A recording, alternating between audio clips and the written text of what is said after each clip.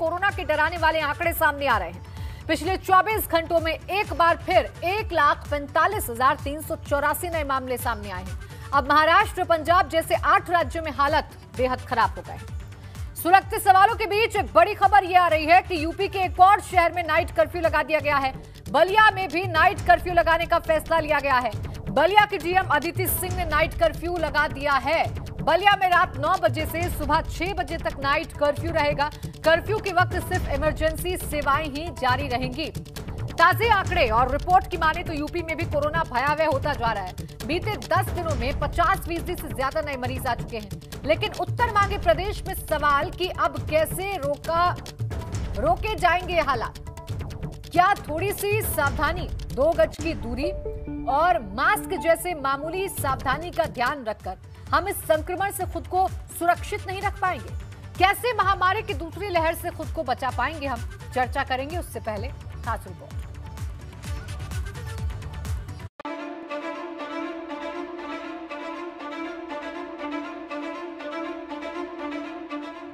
पाँच अप्रैल, एक लाख तीन हज़ार केस। छह अप्रैल, छियानवे हज़ार के पार कोरोना के मामले। सात अप्रैल, एक लाख पंद्रह हज़ार से अधिक संक्रमण के मामले। आठ अप्रैल, एक लाख छब्बीस हज़ार के पार केस। नौ अप्रैल, एक लाख इकतीस हज़ार के पार केस। और अब आज, यानी दस अप्रैल, एक लाख पैंतालीस हज़ार से अधिक मामले। कोरोना के लगातार बढ़ते संक्रमण ने सरकार और प्रशासन के चेहरे पर चिंता की लकीरें खींच दी हैं। कोरोना की दूसरी वेव शहर दर शहर काफ़ी तेज़ी से अपने पाँव पसार रही है। लेकिन बीते तकरीबन एक हफ़्ते से बने इस हालात के बावजूद लोग सावधानी नहीं बरत रहे। एक तरफ़ कोरोना के आंकड़े डेढ़ लाख के करीब पहुँच गए हैं तो वहीं दूसरी तरफ़ शहर दर शहर लापरवाही का नतीजा है कि लगातार कोरोना के आंकड़ों पर ब्रेक नहीं लग रहा है। कोरोना संक्रमण के मामले में बेहिसाब बढ़ोतरी के बीच वैक्सीनेशन अभियान भी जारी है। पीएम मोदी ने 11 से लेकर 14 अप्रैल तक टीका उत्सव मनाने की बात कही है।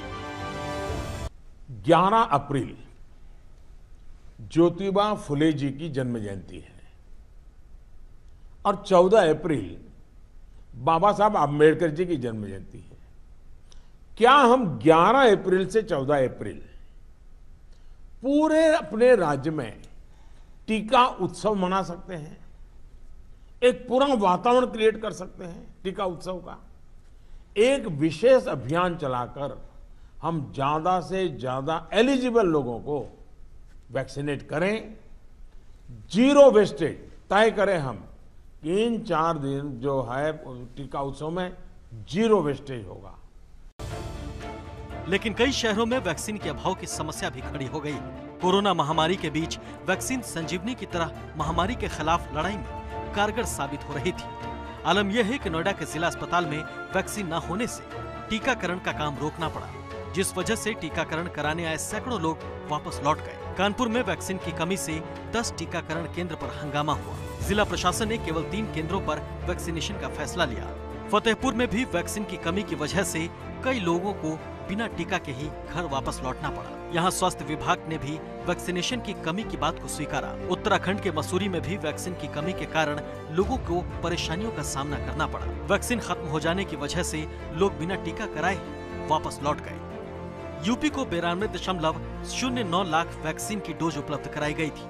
जिसमें तिरासी दशमलव दो चार लाख वैक्सीन की डोज इस्तेमाल की गई है। यूपी में फ़िलहाल साढ़े चार लाख वैक्सीन बची है, लेकिन शाम तक 21 लाख वैक्सीन आने की उम्मीद है। जिस तेज़ी से लोगों का टीकाकरण हो रहा है, उससे महज दो तीन दिन में ही वैक्सीन अभियान चल पाना संभव है। कोरोना के बढ़ते संक्रमण ने यूपी उत्तराखंड के कई शहरों में नाइट कर्फ्यू लगा दिया। लेकिन एक तरफ़ जहाँ लापरवाही की वजह से मामलों में इजाफा हुआ, वहीं अब वैक्सीन की कमी ने नई समस्या खड़ी कर दी। Bureau report, ABP Ganga.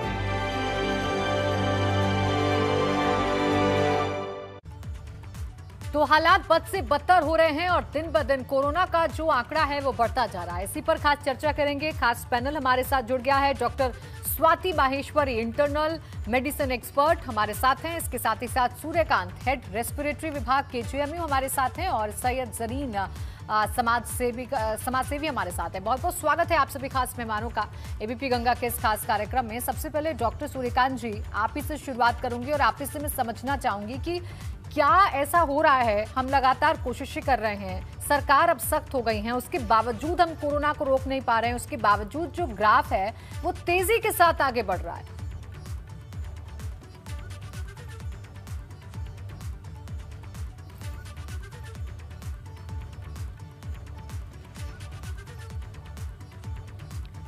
आवाज़ मिल रही है आपको, डॉक्टर सूर्यकांत जी? हाँ जी, बहुत कम आवाज़ मिल रही। मैं सुन नहीं पाया। आप दोबारा जरा बोल दीजिए। बिल्कुल देखिए सवाल ये है डॉक्टर सूर्यकांत जी कि ऐसा क्या वजह है? ऐसा क्या बदलाव हो रहा है कोरोना के जीनों में या ऐसी क्या सेकेंड वेव में बदलाव हुआ है कि अब इतनी कोशिशें की जा रही हैं सख्ती बढ़ गई है उसके बावजूद कोरोना रुक नहीं पा रहा है रफ्तार तेज़ी के साथ बढ़ रही है। एक बहुत पुरानी कहावत है हिंदी में जिसको कहते हैं अब पछताए होत का जब चिड़िया चुंग गई खेत? हम्म, देखिए एक ये ट्रायंगल है कोविड का। हम्म। एक तरफ़ को एक इस ट्रायंगल में मैं फ़िल्म वाला लव ट्रायंगल की बात नहीं कर रहा ये तो बहुत खतरनाक डेंजरस ट्रायंगल है। हम्म। मैं इस ट्रायंगल की बात कर रहा हूँ कि एक ट्रायंगल में एक तरफ़ कोविड वायरस है दूसरे एंगल पे वैक्सीन है और तीसरे पर होस्ट यानी हम सब लोग हैं। हम्म, तो कोविड जो कर रहा था वो तो साल भर से कर रहा था। उसने कुछ न उसने खाली थोड़ा बहुत अपना रूप बदला है जिसको हम कहते हैं साहब म्यूटेंट हो गया चेंज हो गया पाँच हज़ार से ऊपर म्यूटेशन हो गए तीन इंपॉर्टेंट म्यूटेंट्स आ गए वगैरह वगैरह। जो जो छोटा सा है बिल्कुल छोटा प्राणी है दिखता नहीं है वो अपनी अपनी सबकी काबिलियत है उसकी भी कुछ काबिलियतें हैं हमारी बहुत सारी काबिलियतें हैं लेकिन हम उनका फ़ायदा नहीं उठा पाते जी। तो होस्ट बिहेवियर हमारा बिल्कुल खराब हो गया 2021 में क्योंकि हम ओवर कॉन्फिडेंस हो गए। हम्म, पृथ्वीराज चौहान भी इतिहास में बहुत ओवर कॉन्फिडेंट थे क्या हुआ? सोलह बार जीते सत्रहवीं बार मोहम्मद गोरी ने हरा दिया और उसके बाद देश खत्म हो गया। हम्म, यही हुआ सौ साल पहले भी हम स्पेनिश फ्लू की हिस्ट्री देखें तो पहला नहीं दूसरे तीसरे चौथे चरण में ज़्यादा डेथ हुई थी स्पेनिश फ्लू में और टोटल पाँच करोड़ डेथ हुई थी स्पेनिश फ्लू के सौ साल पहले। जी। तो हमने न हमने न हज़ार साल पहले का इतिहास पृथ्वीराज चौहान का लिया हमने न सौ साल इतिहास सबक स्पेनिश फ्लू से लिया और हमने तो रिसेंटली 2020 के बाद 21 के बाद जब वेस्टर्न वर्ल्ड में दूसरी तीसरी वेव आनी हो गई तो हम। चौड़े हो गए नहीं नहीं नहीं मेरे पास मेरे पास दूसरी तीसरी वेव नहीं आएगी क्योंकि वैक्सीन भी हमारे पास आ गई। ये अलग बात है कि हम लगवा नहीं रहे थे। पहला टारगेट था हमारा तीन करोड़ का लगवाने का हेल्थ केयर वर्कर का लगवाई कितने? 97 लैक्स ने। दूसरा टारगेट आया 27 करोड़ का। लगवाई कितने? बहुत कम ने। तो हमने जो पेस था हमारा वैक्सीनेशन का या हमारी जो एक्सेप्टेबिलिटी थी वैक्सीनेशन की वो भी हमने नहीं सही दिखाई। जी। उसमें ज़्यादा इंटरेस्ट नहीं लिया वैक्सीन आ गई है तो लगता आने से ही सब कुछ खत्म हो जाएगा। वो सीरम इंस्टीट्यूट ऑफ़ इंडिया के इंडिया के स्टोर में रखी रहेगी वैक्सीन और वहीं से जो है वो हर्ड इम्यूनिटी पैदा कर देगी। हिंदुस्तान में हमने ऐसा सोचा। तो हम ही जिम्मेदार हैं। इसके लिए और कोई दूसरा जिम्मेदार नहीं है। ये कोरोना वैसा दुश्मन है जो वापस जा रहा था। उसको हाँ। बकायदा हमने प्रेम पत्र लिखा इन्विटेशन लेटर लिखा कि भैया अभी हमारी बिटिया का मुंडन बाकी है हमारे बच्चे की शादी बाकी है और भी सारे सेलिब्रेशन है। प्लीज़ एंजॉय करके जाओ। तो एंजॉय कर रहा है कोरोना, इसमें हम क्या कह सकते हैं? बिल्कुल, डॉक्टर सूर्यकांत जी, बहुत सही तरीके से आपने समझाया है कि ये जो कोरोना है, वो क्यों फिर से रिवर्ट बैक कर रहा है और क्या वजह है कि अब ये संभलने नहीं संभल रहा है? डॉक्टर स्वाति, देखिए, जैसा कि डॉक्टर सूर्यकांत जी ने कहा, एक और लोगों के बीच में लापरवाही देखने को मिल रही है उन लोगों में जिनको पहले कोरोना हो चुका है। वो इस सेकेंड वेव में पूरी तरीके से निश्चिंत हैं और पूरी तरीके से उनको लग रहा है कि दोबारा उनको कोरोना नहीं होगा। इसलिए उनकी तरफ़ से लापरवाही भी बढ़ती जा रही है। ऐसे लोगों के लिए आप क्या सलाह देंगे? उनको क्या बताएँगे कि क्या उनको कोरोना दोबारा हो सकता है अभी? बिल्कुल देखिए बहुत अच्छा प्रश्न है और ख़ास तौर से जिन लोगों को कोरोना हो चुका था, उन्हें लगा कि अब हम कोरोना के बारे में सब कुछ जानते हैं और उन्हें लगा कि अब हमें कोरोना दोबारा नहीं हो सकता क्योंकि हमारे शरीर में एंटीबॉडीज़ हैं। लेकिन अब जिस तरह की हम साफ़ तौर से सामने लोगों को आते देख रहे हैं कि हम दोबारा संक्रमण होते देख रहे हैं और आईसीएमआर ने भी ये स्टडी निकाली है इसके ऊपर कि दोबारा संक्रमण हो सकता है। तो एंटीबॉडीज ज़्यादा समय के लिए शरीर में नहीं टिकती हैं, नए स्ट्रेन्स भी हैं जो कि हमारे इम्यून सिस्टम को बाईपास करना सीख गए हैं। तो अगर आपके पास एंटीबॉडीज है भी तो भी वो वायरस उनको बाईपास करना जानता है। ये बहुत ज़्यादा स्मार्ट हो गया है। ऐसी स्थिति में किसी को भी ये नहीं सोचना चाहिए कि हमें कोरोना नहीं हो सकता। चाहे आपने वैक्सीन की पहली डोज लगवा ली है, चाहे आपको कोरोना हो चुका है पहले, हर स्थिति में हमें ये बिल्कुल ही ध्यान रखना है कि कोरोना कभी भी और कहीं से भी हो सकता है। और अब जो आप ये उछाल देख रहे हैं केसेस में प्राची जी ये ज़्यादातर कुछ दिन पीछे के होते हैं क्योंकि किसी भी व्यक्ति को लक्षण आने में कुछ दिन लगते हैं चौदह दिन का इसका इंक्यूबेशन पीरियड है उसके बाद भी आप कुछ दो तीन दिन इलाज करते हैं अपने आप फिर आप टेस्ट कराते हैं फिर उसके एक दो दिन में रिपोर्ट आती है। तो ये जो टेस्ट जो आंकड़े आज आप देख रहे हैं ये पीछे के होते हैं ये उसी दिन के आंकड़े नहीं होते हैं इसलिए अभी आप और ज़्यादा उछाल इन आंकड़ों में देखेंगे क्योंकि अब पिछले कुछ दिनों के जो मामले हैं, वो भी आगे आगे सामने आएँगे। तो ये एक चेन है जो कि कब शुरू हो गई। जैसे हम फिजिक्स में चेन रिएक्शन पढ़ते थे कि एक के बाद दो दो के बाद चार, और यहाँ तो मल्टीप्लाई मल्टीप्लीकेशन जो है वो बिल्कुल ही अलग लेवल पर है।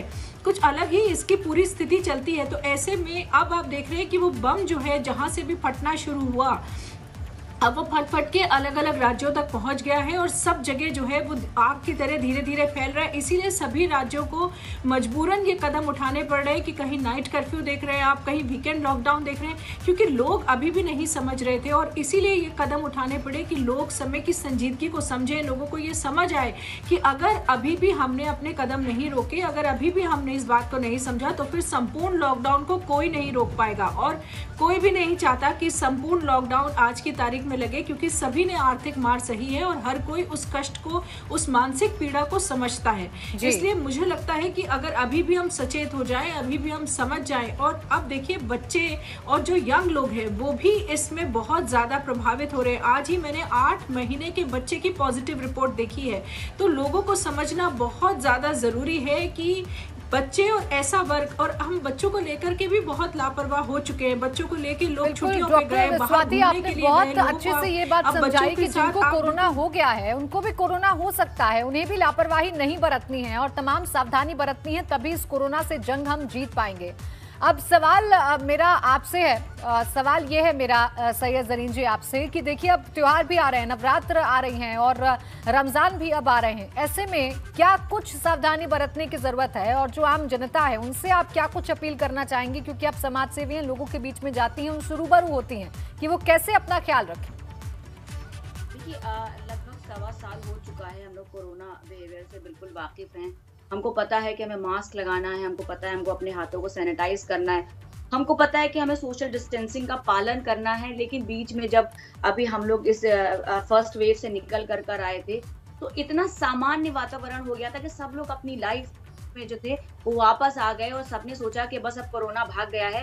और बाजारों में ऐसी भीड़ें लगने लगी, धूमधाम से शादियाँ होने लगी और जितने भी सामाजिक कार्यक्रम थे, वो बिल्कुल अपने फुल ऑन के पास जितना हो सके एज पॉसिबल पब्लिक जो है वो अपेरेंस बढ़ता जा रहा था। तो लोगों ने इस चीज़ का जो था वो ध्यान, वो अपना दिमाग कोरोना से भटका कर और नॉर्मल लाइफ में वापस आ गए थे। लेकिन अब देखिए कोरोना की दूसरी जो जो लहर आ गई है तो हमने जो था बहुत मुझे मतलब एक दुख हो रहा है कि हमने विदेशों से सबक नहीं सीखा। कि हम्म। विदेशों में देखिए जनवरी और फेब्रुवरी में दूसरी लहर आ गई थी लेकिन हमने इसको माइंड ही नहीं किया। हमें लगा कि हम वापस अपने नॉर्मल फ़ेज़ में आ गए हैं और अब हमारे देश में कोरोना की लहर नहीं आएगी। या वैक्सीन तो बन ही चुका है अब हम उसको लगवाएँगे। और हम ठीक हो जाएँगे। लेकिन देखिए, अब क्या हो रहा है? अभी हम लोग उत्तर प्रदेश की बात कर रहे हैं। उत्तर प्रदेश में कितना इफ़ेक्टिव इस वक्त दूसरी लहर चल रही है। दस हज़ार से ज़्यादा केसेस जो हैं वो निकल करके डेली पर आ रहे हैं। अगर हम लखनऊ उत्तर प्रदेश के चार शहरों की बात करें, जिसमें जो हमारे प्रदेश की राजधानी लखनऊ है, वो सबसे ज़्यादा इफ़ेक्टिव है कि थर्टी परसेंट केसेस जो है वो इस टाइम लखनऊ से निकल करके आ रहे हैं। आप उसके बाद वाराणसी है प्रयागराज है कानपुर है ये तीसरे चौथे नंबर पर आता है। लेकिन जो कहीं ना कहीं देखिए जो है जो R T P C R जो टेस्ट है उसकी रेटिंग सिर्फ़ सत्तर परसेंट है। बल्कि इसको बढ़ाना पड़ेगा जो कि एक मतलब एक ये लिमिटेड आंकड़े मैं बता रही हूँ कि ये ये लिमिटेड आंकड़े हैं। हम्म। लोगों ने अभी कितना ऐसे लोग हैं जिन्होंने अपनी जाँच कराई नहीं है जो जाँच कराने से घबरा रहे हैं। और कि ऐसे और जैसे अभी हम लोग बात कर रहे थे, मैं भी एक निजी चैनल देख रही थी, उस पर ये दिखाया जा रहा था कि यूपी में जो सरकारी अस्पताल है, वहाँ पर आर टी टेस्ट के छह सौ रुपए लिए जा रहे हैं। जहाँ पर अभी हमारे प्रदेश के मुख्यमंत्री अभी बिहार का जब चुनाव चल रहा था तो वो गए थे उन्होंने कहा था कि आप यहाँ पर हमारी सरकार बना दीजिए बीजेपी की सरकार बन जाए हम मुफ़्त में वैक्सीन देंगे। तो हमारे हमारे प्रदेश के मुख्यमंत्री को ल- अपने प्रदेश का ख्याल नहीं आ रहा है कि यहाँ पर जो है वो छह सौ रुपए जो है वो आर टी आरटीपीसीआर टेस्ट का लिया जा रहा है। तो एक गरीब आदमी कैसे देने पाएँगे? जिस तरीके से संक्रमण देखिए फैल रहा है अगर आप प्राइवेट हॉस्पिटल में, अगर आपको कोविड है, आप अपनी वहाँ पर एडमिट होना चाह रहे हैं, आपको दो लाख रुपए पहले से जमा करने पड़ेंगे। तो ये ये ये बात है कि लोगों के अंदर डर बैठ रहा है। लो, अब जैसे अभी आपने हमसे पूछा कि रमज़ान आ रहा है, नवरात्रे आ रहे हैं तो मैं आपके चैनल के माध्यम से कहना चाहूँगी कि प्लीज़ इस बीमारी की गंभीरता को समझिए ये जो आंकड़े हैं, ये आंकड़े नहीं है। ये जो मौत के, मृत्यु दर के आंकड़े जो बढ़ रहे हैं और जो लोग जो आ, कहते हैं नहीं ठीक होने के जो आंकड़े हैं वो अब कम हो रहे हैं। हम्म। जो ठीक होने के आंकड़े थे कोरोना के वो कम होते जा रहे हैं। समझना होगा कि त्योहार है त्योहार है तो उसे अपने घर में मनाइए अपने लोगों के साथ मनाइए उनको सुरक्षित रखिए। डॉक्टर स्वाति महेश्वरी जी देखिए सवाल अब एक और है। पहले चरण में ऐसा रहा कि हमने हर्ड इम्यूनिटी में अच्छा परफॉर्म किया, हमने उससे अच्छा फ़ायदा लिया। लेकिन इस बार ऐसा क्या हो रहा है कि जो हर्ड इम्यूनिटी है, वो काम नहीं कर पा रही है, उसका कोई फ़ायदा नहीं मिल पा रहा है और तेज़ी के साथ संक्रमण फैल रहा है। देखिए हर्ड इम्यूनिटी एक लेवल तक ही काम कर पाएगी, क्योंकि अभी हम वैक्सीनेशन उतने ज़्यादा लोगों को नहीं दे पाए थे कि हर्ड इम्यूनिटी पूरी तरह से आ जाए। और वहीं आप देखें तो सितंबर में भारत में सतानवे हज़ार के आसपास मामले पहुँचे और उसके बाद धीरे धीरे डिक्लाइन होना शुरू हो गया। और जो एंटीबॉडीज़ हमारे शरीर में है, वो ज़्यादा से ज़्यादा तीन महीने के आसपास हमारे शरीर में रहती हैं। तो सितंबर में जो लोग पीड़ित हुए, उसके बाद अक्टूबर में भी तो आप मान के चलिए कि उनमें अब एंटीबॉडीज़ नहीं है। तो अब वो लोग दोबारा संक्रमित हो सकते हैं। इसलिए जो हमारा हर्ड इम्यूनिटी का कॉन्सेप्ट है, वो इतना ज़्यादा कंसेप्शलाइज नहीं हो पाया, क्योंकि जो लोग स्वाभाविक तौर से संक्रमित हुए थे, उनकी एंटीबॉडीज खत्म हो गई और वैक्सीनेशन अगर आज आप देखें तो हम दो डोजेस केवल सवा सौ करोड़ लोगों तक ही पहुँचा पाए हैं अभी, जिसकी वजह से केवल एक प्रतिशत जनता भारत की इस वक्त, आप मान सकते हैं कि उनमें इतनी एंटीबॉडीज हैं कि वो हर्ड इम्यूनिटी को कॉन्ट्रीब्यूट कर रही होंगी। तो ऐसी स्थिति में और जब नए स्ट्रेन आ जाते हैं, खासतौर से जो कि हमारे इम्यून सिस्टम को बाईपास करना जानते हैं तो ऐसी स्थिति में हमारे पास यही एक विकल्प रह जाता है कि हम खुद मास्क लगाएँ सोशल डिस्टेंसिंग का ध्यान करें भीड़ भाड़ के इलाके में ना जाएँ, क्योंकि जितना ज़्यादा हम खुद को एक्सपोज करेंगे, उतना संक्रमण हम अपने घर लेकर के आएँगे, अपने परिवार में लेकर के आएँगे। और देखिए, बड़ी बात यही है कि अब खास तौर से पिछले साल हमने ये देखा था कि जब एक परिवार में कोरोना पॉजिटिव आता था तो ज़्यादा से ज़्यादा एक व्यक्ति और पॉजिटिव आ जाता था। इस बार पूरा पूरा परिवार हम देख रहे हैं कि कोरोना पॉजिटिव है। क्योंकि जो अब स्ट्रेन भारत में इस वक्त घूम रहे हैं वो बहुत ज़्यादा तेज़ी से एक से दूसरे में फैल रहे हैं। इसी वजह से आपने संक्रमण में इतना ज़्यादा उछाल देखा और ना केवल भारत देखिए यूके यूएस बड़े बड़े ऐसे देश जहाँ स्ट्रेन फैल रहे हैं स्वाति पे भी आपने समझना देखे कि किस ये वायरस है और वायरस अपनी शक्ल भी बदलता है अपना बिहेवियर भी बदलता है और इसलिए समझ नहीं आता कि इसे हम कैसे ट्रीट करें। बहुत बहुत शुक्रिया आप सभी खास मेहमानों का हमारे साथ इस खास चर्चा में जुड़ने के लिए और हमारे दर्शकों को ये बताने के लिए उन्हें अभी कितना सावधान रहने की ज़रूरत है। तो इसी के साथ, देखिए एबीपी गंगा भी लगातार आप सभी से यही अपील कर रहा है, सावधान रहें, सुरक्षित रहें, अपने आप को बचाएँ और अपने परिवार को भी सुरक्षित रखें।